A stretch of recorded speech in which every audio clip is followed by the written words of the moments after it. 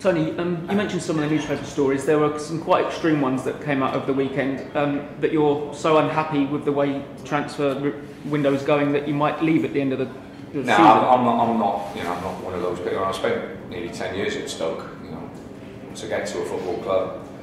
You know, I want to. I want to. You know, and, and I, I'll say this now. You know, the support's been absolutely wonderful. Been absolutely fantastic. And um, you know, to it'd have to be a, a massive reason to leave the football club and let them, you know, let them down, uh, which you know I find very difficult to do. Can you clear up the situation with the Ivan Ramis transfer story? Was there a big... No, we, we, we, we inquired about Ramis and Ramis went off and spoke to to Cardiff. Um, but we, yeah, we did inquire about it. We were interested in the lad. Um, you know, but Cardiff made him, you know, a, a better offer, and he went down and spoke to Cardiff. But you were totally at the head of that transfer deal because there were reports that it wasn't a, a transfer that you were involved in. Sorry? There were rumours that it was a transfer that you hadn't had any involvement in. That No, we, no, we, we spoke to Wigan and to and to the boy and, and to his agent.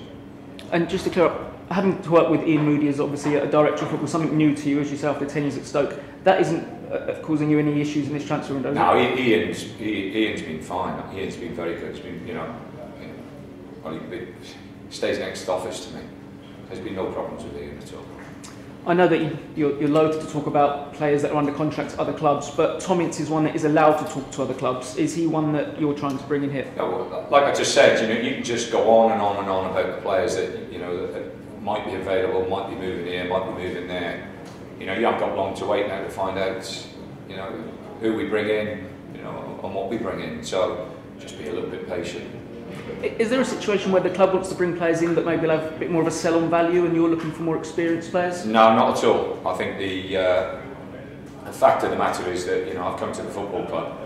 Um, I like to pick my own players, um, and i- if if I have to pick players at a certain on a certain budget, then you know I want to pick my, my own players on that certain budget.